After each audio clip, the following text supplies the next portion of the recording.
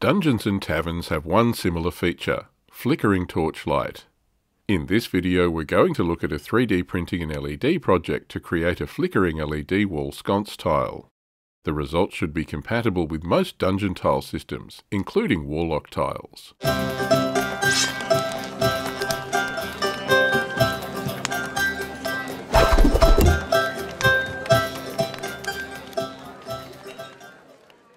This is a project by Taverneer Gillian Walker using the LED Wall 3D files purchased from Fat Dragon Games.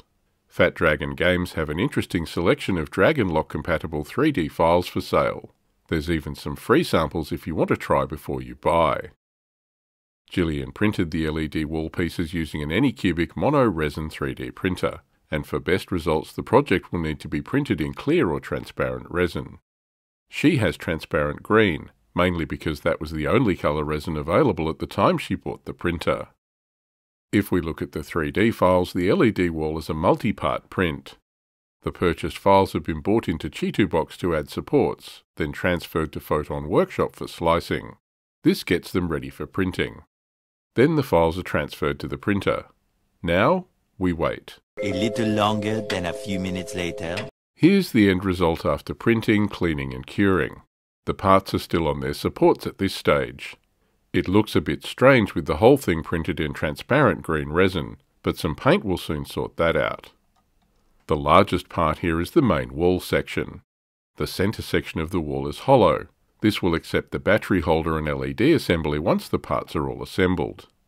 There's a slot at the bottom of the wall to accept DragonLock clips to join the wall to other tiles.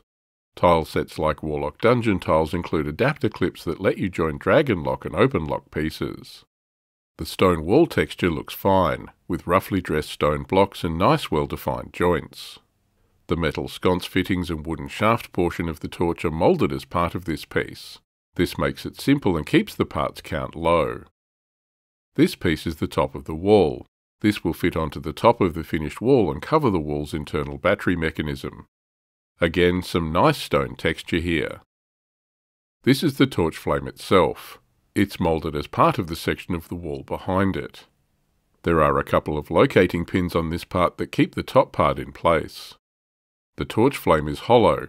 This is where the LED light will go inside it to create the flickering light effect. The final piece is the battery holder. This accepts a CR2032 large button-style 3-volt battery. Fitting the LED to this part is easy. There are grooves or channels to take the wire connector legs of the LED, and it holds them so the battery terminals make contact when inserted. So those are the 3D printed parts. You'll also need some flickering LEDs. These proved hard to source in Australia, but we ordered some from China and they arrived in a few weeks. 5mm LEDs worked fine here. This is what everything looks like after painting. Parts were undercoated black, being careful to avoid painting the flame portion of the torch piece. A quick dry brush of grey and white brought out the stone texture.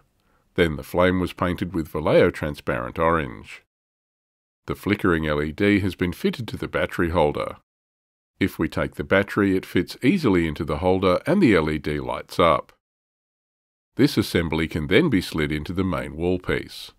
The top of the wall and the flame section have been glued together using superglue. This just slides down over the LED and it all holds together. And there it is, the completed 3D printed wall tile with flickering torch on a wall sconce. The nice part is, while it's assembled to other tiles, you can still access the battery compartment, so you can save battery life by just inserting the battery and holder when you need it. Fat Dragon's LED wall is a great little product. It creates a fantastic look and feel for your dungeon tiles. The torchlight creates some real atmosphere. The battery compartment is very simple with no wiring or soldering involved. A single LED has a very low power draw, however you will go through some batteries. It would be nice to run this from a power supply, but that would require a lot more work in electronics. There are some other LED projects in the Fat Dragon product range. Gillian is keen to give these a try as well. If you'd like to see these, let us know in the comments. Thanks for watching.